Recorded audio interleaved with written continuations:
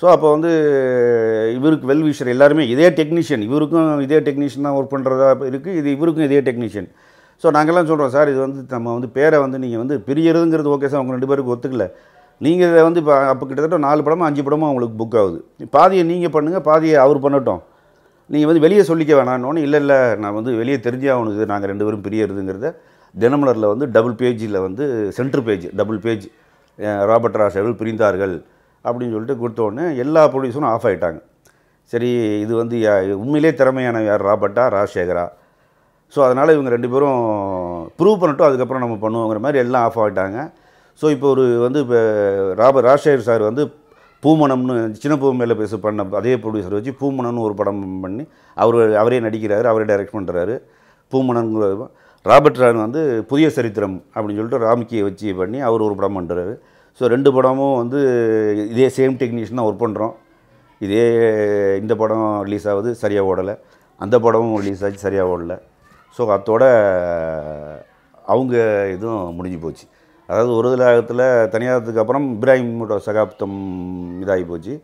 So இப்போ இவங்க இது வந்து இவங்க ச சண்டை போட்டு ரெண்டு பேரும் பிரிஞ்சதால் இவங்க எதுவும் அதோட இவங்க எதுவும் முடிஞ்சிருச்சு. ஸோ இப்போ என்ன நான் எல்லாமே நான் வந்து ஃபிலிம் இன்ஸ்டியூட் குரூப்புக்குள்ளேயே தான் பண்ணிக்கிட்டு இருந்தேன். ஊர்க்குருவி சிவகுமார்னு ஒருத்தர் படம் பண்ணது. ஸோ ஃபிலிம் இன்ஸ்டியூட்லேயே தானே பண்ணிகிட்டு இருக்கிறோம் அப்படின்னு சொல்லிட்டு சரி வெளி கமர்ஷியல் டைரக்டர்கிட்ட பண்ணணும்னு ஒரு ஆசை. ஸோ அந்த டயத்தில் தான் விசி குணாந்துட்டேருந்து எனக்கு ஆஃபர் வந்துச்சு. ஸோ நான் அவர்கிட்ட வந்து மைக்கேல் ராஜுங்கிற ஒரு படம் ஒர்க் பண்ணேன். ரகுவரன் ஹீரோ அதுவும் நல்லா ஓடிச்சு. ஸோ அவர் ஒரு கமர்ஷியல் டைரக்டர் ஒர்க் பண்ண ஒரு இது கிடைச்சிச்சு அதுக்கப்புறம் கேஆர் சார்கிட்ட ஒரு பத்து பதினஞ்சு படங்கள் அவர்கிட்ட பண்ணுறது ஸோ இப்படி இது பண்ணுறப்ப தான் விசி கூடாதன் ஒரு படம் டைரக்ட் பண்ணுங்கன்னார் என்ன. என்னடா அது திருப்பி திருப்பி டைரக்ஷனுங்கிறாரு அந்த டயத்தில் நான் வந்து செந்தூர் இது செந்தூர் எடிட்டிங்கில் இருக்கிறேன்.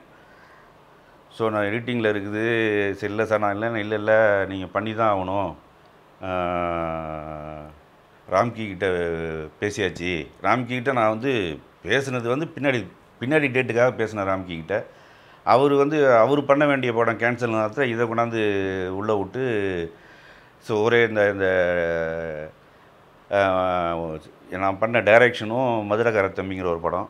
ஸோ அந்த டைரக்ஷனும் எடிட்டிங்கும் ஒன்றா நடந்துக்கிட்டு இருக்குது. இந்த படம் ஷூட்டிங்கு இந்த படம் எடிட்டிங் உண்மையிலேயே அந்த டயத்தில் நான் வந்து பயங்கர டஃப்பாக வேலை பார்த்தேன். அதாவது என்னென்னா மார்னிங் ஃபுல்லாக ஷூட்டிங்கில் இருப்பேன். திருப்பி ஈவினிங் ஆறு மணிக்கு மேலே செந்தூர் எடிட்டிங் வருவேன். எடிட்டிங்கில் வந்து ஆபா சாரும் வந்து என்னை அந்த பல பல பல சமயங்கள் நான் அவருக்கு அந்த டயத்தில் கஷ்டம் கொடுத்துருக்குறேன். ஆனால் நான் பொறுத்துக்கிட்டு இது பண்ணியிருக்காரு. ஆனால் வந்து நானும் சின்சியராக நைட்டில் நைட்டில் வந்து வேலை பார்த்துக்கிட்டு தான் இருந்தேன். நைட்டில் வந்து வேலை பார்த்து கிட்டத்தட்ட ஒரு நாலு அஞ்சு மணி வரைக்கும் வேலை பார்ப்பேன். அஞ்சு மணிக்கு எடிட்டிங்லேயே தூங்கி படுத்துட்டு திருப்பி எட்டு ஒம்பது மணிக்கு எழுந்திரிச்சு அப்படியே ஷூட்டிங் போவேன்.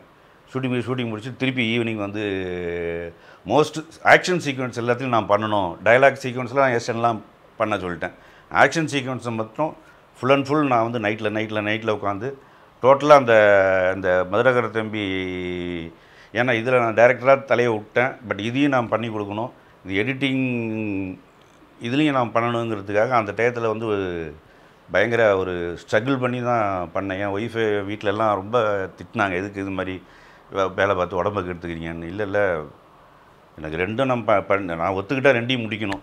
ஸோ அந்த டயத்தில் நான் தூங்கினதுன்னு பார்த்தீங்கன்னா அந்த டயத்தில் மேக்ஸிமம் டூ ஹவர்ஸ் இப்படி தான் கிட்டத்தட்ட ஒரு த்ரீ ஃபோர் மந்த்ஸ் நான் இது பண்ணேன். பட் ரெண்டு பேரையும் வந்து திருப்திப்படுத்தினேங்கிறது தான் என்னோட எனக்கு ஒரு திருப்தி. பிஆர் தேவராஜ் அவர் என்னோட இன்ஸ்டியூட்டில் என் கூட டைரக்ஷன் படித்தார் ஸோ அவர் வந்து இப்போ ஒரு படம் ஒரு பொங்கலூர் கந்தசாமிங்கிற ஒரு ப்ரொடியூசர் வந்து வந்திருக்கிறாரு. ஸோ நம்ம படம் பண்ணணும் அப்படின்னு பேசினார். ஸோ நான் ரெங்கசாமி எம்எம் ரெங்கசாமி தேவராஜ் ஸோ மூணு பேரும் உட்காந்து அந்த ப்ரொடியூசர் உட்காந்து பேசணும். ஓகே சார் ப பண்ணிடலாம் சார்னு சொல்லிட்டு ரூம் போட்டு சும்மா ரஃப்பாக ஒரு லைனை வந்து டிஸ்கஸ் பண்ணோம்.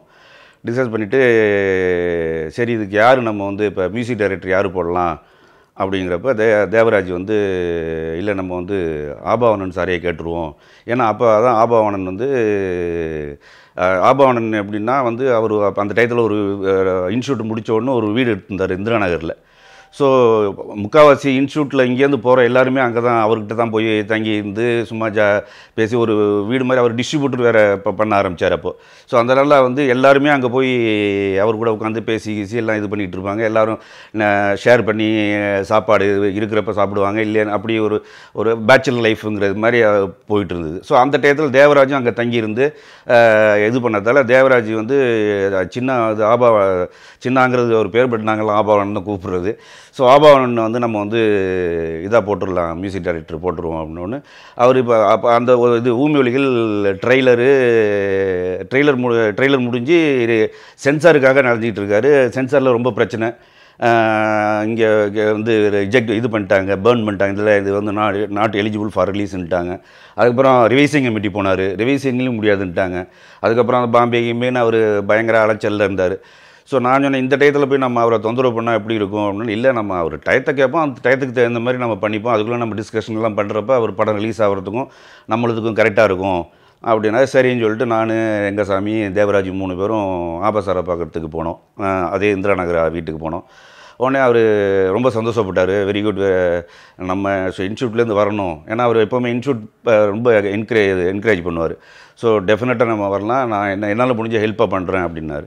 ஸோ நாங்கள் தேவராஜ் சொன்னார் இல்லை இல்லை நீங்கள் வந்து எனக்கு மியூசிக் பண்ணி கொடுக்கணும் இந்த படத்துக்கு.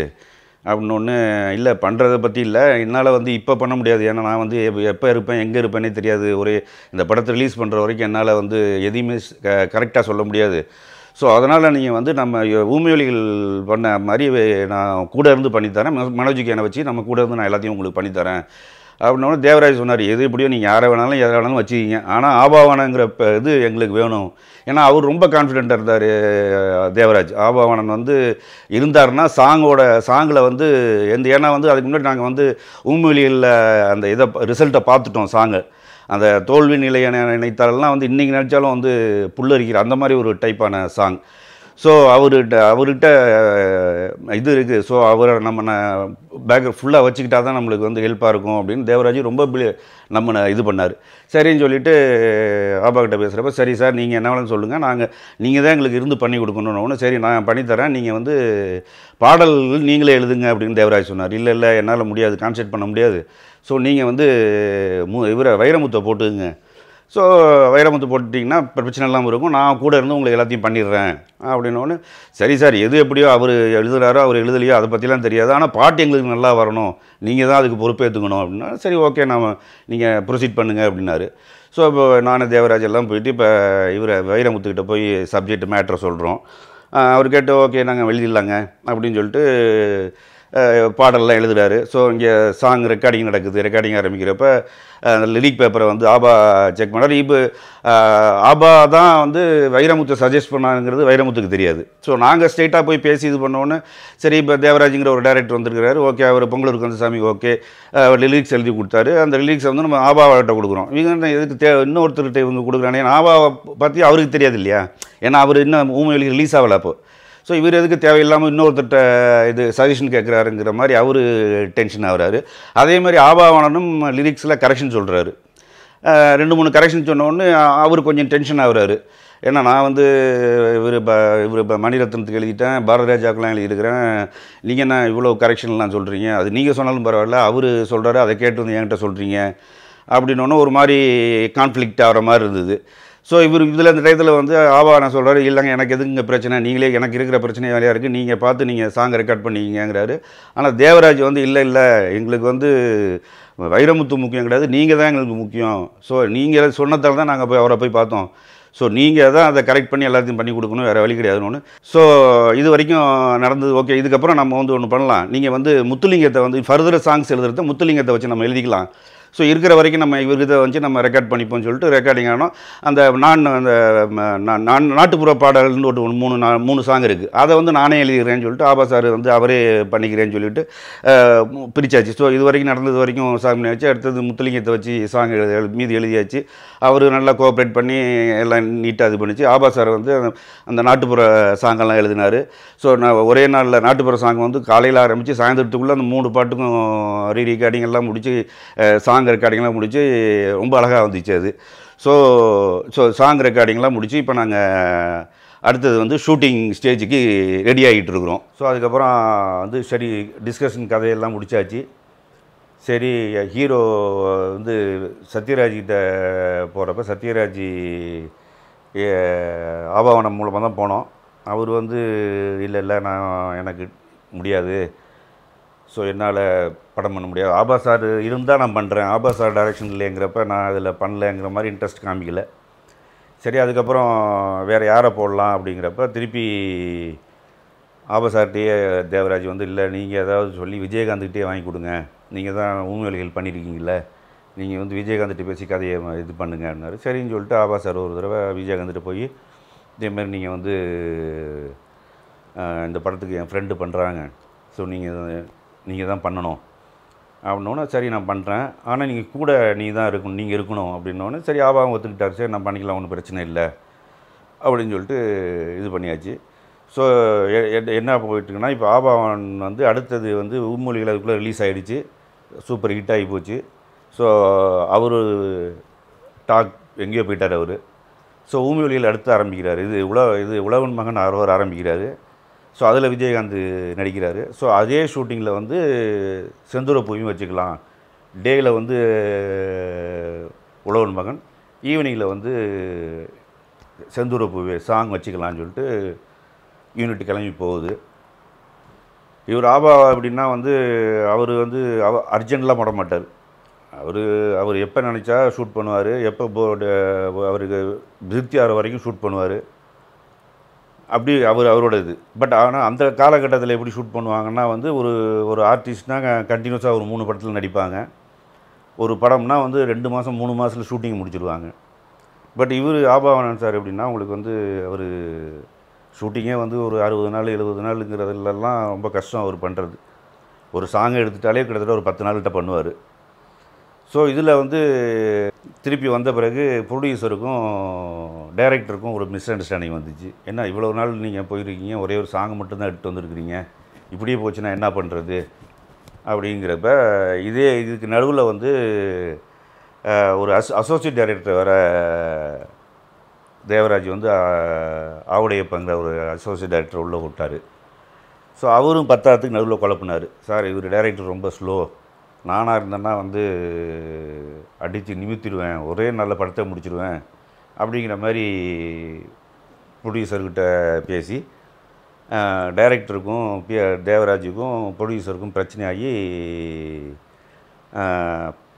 தேவராஜை அந்த படத்துலேருந்து தூக்கிட்டாங்க. செந்தூரப்பு படத்துலேருந்து தேவராஜ் டைரக்டர் தேவராஜை தூக்கிட்டாங்க. கேமரா பண்ணியும் தூக்கிட்டாங்க. இப்போ என்னென்னு தெரியல என்ன மட்டும் வச்சுருந்தாங்க. ஸோ அடுத்தது வந்து திருப்பி ஆவுடையப்பன் வந்து டைரக்ட் பண்ண போகிறேன் அப்படின்னு சொல்லிட்டு அதே செந்தரூப்புங்கிற டைட்டில் வச்சுட்டு அவங்க கதையை வேறு மாதிரி மாற்றி அவங்க வந்து கிட்டத்தட்ட ஒரு பதினஞ்சு இருபது நாள் ஷூட்டிங் போனாங்க. ஷூட்டிங் போயிட்டு ரஷெல்லாம் வருது. எடிட் பண்ணுறோம் எடிட் பண்ணி முடித்த பிறகு விடிய கடையில் ஒரு எடிட் பண்ணி முடிச்சாச்சு. ஒரு ஒரு ஒரு நாலஞ்சு நாள் எடிட்டிங் முடிச்சிட்டோம்.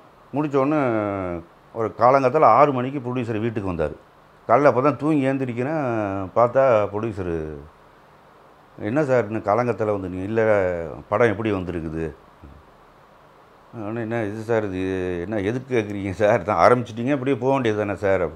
இல்லை இல்லை இல்லை நீங்கள் இருந்து எடிட்டர் உண்மையை சொல்லுங்கள் உங்களுக்கு இந்த படம் எப்படி இருக்குது அப்படின்னாரு. நான் சொன்னேன் இல்லை சார் நான் வந்து தேவராஜோட ஃப்ரெண்டு தேவராஜ் தான் கொண்டாந்து உங்ககிட்ட விட்டார். நான் வந்து இந்த படத்தை பற்றி நான் சொன்னேன்னா கருத்து சொன்னேன்னா நான் தேவராஜுக்காக சொன்னேங்கிற மாதிரி பேசுவாங்க. ஸோ நீங்கள் வந்து உங்களுக்கு அப்போ சினிமா க சினிமா நிறைய பேர் தெரியும் உங்களுக்கு. இந்த படத்தை நீங்கள் வந்து போட்டு காமிங்க அவங்களுக்கு. உண்மையிலேயே நல்லா இருக்குது அப்படின்னா நீங்கள் ஃபர்தராக கண்டினியூ பண்ணுங்கள் ஸோ இல்லை நீங்கள் என்ன உங்களை பொறுத்த வரைக்கும் என்னது? இல்லை என்ன என்னை பொறுத்த வரைக்கும் எனக்கு பிடிக்கல சார். வேஸ்ட்டு அப்படின்னு. சரிண்ணா அதுக்கப்புறம் அதை வந்து அவர் அவரோட ஃப்ரெண்டு ஆரம் வீரப்பன் அவர்லாம் போட்டு காமிச்சிருக்காரு. அப்புறம் அவங்க என்ன சொன்னாங்கன்னு தெரில தி- திட்டினாங்களா என்னெல்லாம் தெரியல அந்த படத்தை அத்தோட நிப்பாட்டிட்டு ஆஃபீஸையும் மூடிட்டாங்க தெலுங்கில் டப் பண்ணி பண்ணுறாங்க ஸோ அது வந்து டூப்பர் டூப்பர் ஹிட் ஆகி போச்சாங்க அதாவது தெலுங்கில் வந்து two twenty five two twenty five days ஓடிச்சது so இதை பார்த்துட்டு அமிதாப் பச்சன் ஹிந்தியில் வந்து ஸ்ட்ரெயிட்டாக பண்ணணும்னு சொல்லிட்டு அபசாரை கூப்பிட்டு பேசினார். மேரிட் பிரிண்டில் வந்து இருக்கிற அந்த இதுவும் இருக்கும். சவுண்டில் ஒரு டாட் டாட்டுன்னு இருக்கும். அதுதான் டிடிஎஸ் சவுண்ட் அதுக்கு ஒரு டிஸ்க் கொடுப்பாங்க. அது அமெரிக்காவில் போயிட்டு தான் அதாகி வரணும். உண்மையிலேயே ரொம்ப காம்ப்ளிகேட்டடாக ஜாப் ஆகி போச்சு. ஒரு இலாவச்சு போட்டி வெட்டி பீஸ் பீஸ் ஆகிட்டு போயிட்டார். முக்கியமான ஷாட்டை மட்டும் எடுக்கிறாரு.